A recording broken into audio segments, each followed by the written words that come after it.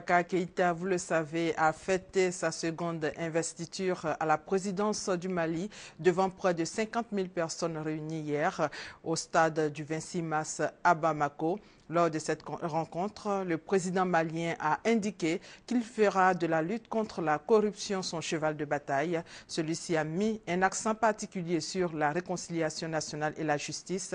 Quant à son homologue français François Hollande, il a salué la tenue de cette cérémonie qui est selon lui l'aboutissement d'un combat commun. Plusieurs chefs d'État également présents hier à cette cérémonie d'investiture, dont le président Alassane Ouattara, président en exercice de la conférence des chefs d'État et de gouvernement de la CDAO, le président qui a regagné Abidjan hier aux environs de 20 heures. La lutte contre la pauvreté dans le secteur agricole est en marche. Hier, les organes dirigeants du programme national d'investissement PENIA ont été installés. C'était en présence du Premier ministre Daniel Cablan-Duncan. Il a saisi cette opportunité pour situer les enjeux de ce programme sur la période 2012-2015. 2 400 000 emplois seront créés. Le point avec Léon Brou.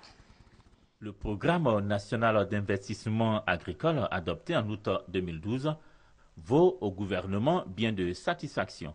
Pour le programme évalué à 2002 milliards 818 millions de francs CFA, un peu plus de 2040 milliards d'intentions d'investissement ont été obtenus en septembre 2012 auprès du secteur privé et des partenaires techniques et financiers. Le programme connaît un début d'exécution assez prometteur. Nous sommes donc aujourd'hui à environ 719 milliards de francs CFA qui ont mobilisé effectivement et qui est en cours d'exécution.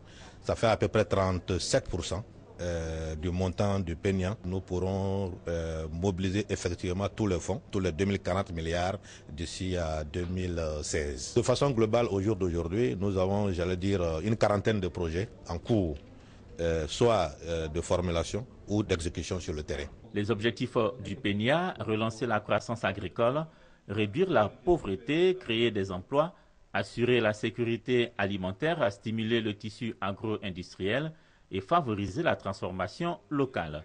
Avec l'installation officielle par le Premier ministre du Comité national de pilotage et du secrétariat technique, les deux organes dirigeants du programme, le gouvernement se donne les moyens d'atteindre les objectifs qu'il a fixés au PENIA. Ces deux organes, on l'a noté, sont composés de représentants de la présidence de la République, l'administration publique, du secteur privé, de la société civile, des organisations agricoles, des organisations non gouvernementales ainsi que des partenaires techniques et financiers. La mise en commun de ces compétences issues d'horizons divers devrait permettre d'appréhender le niveau d'évolution réelle et de mise en œuvre du PMIA, les effets sur les populations, les difficultés et contraintes majeures, ce qui favorisait bien sûr la prise de décision par le gouvernement et le président de la République.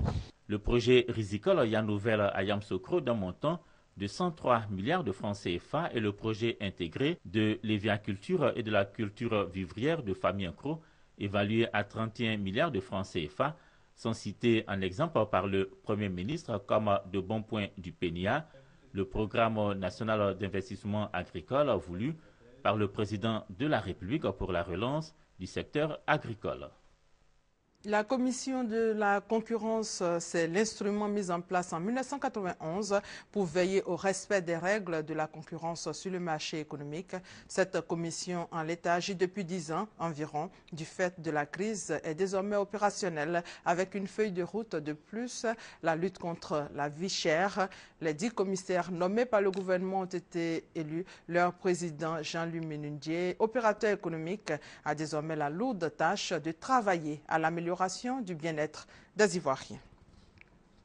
Dans le domaine de la santé, une mission de chirurgiens sud-coréens opère 14 enfants souffrant de malformations. Les malades ont déboursé 100 000 au lieu de 3 500 000 francs CFA. Ces interventions ont été rendues possibles grâce à l'Institut de cardiologie et grâce au soutien de Marcel Zadikessé. Il a par ailleurs subventionné ces opérations à hauteur de 2 millions de francs CFA. Et hors de nos frontières, en Égypte, l'armée et la police engagées dans une opération contre les bastions islamistes. Le bilan de l'assaut lancé hier par les forces de l'ordre contre la localité de Kerdassa, à l'ouest du Caire, fait état de 10 blessés légers, d'un général de police tué. 68 personnes ont par ailleurs été arrêtées. Une intervention qui entre dans le cadre d'une campagne de plus grande envergure. Et c'est la fin de ce flash. Prochain rendez-vous de l'information, à 13h. Merci de votre fidélité.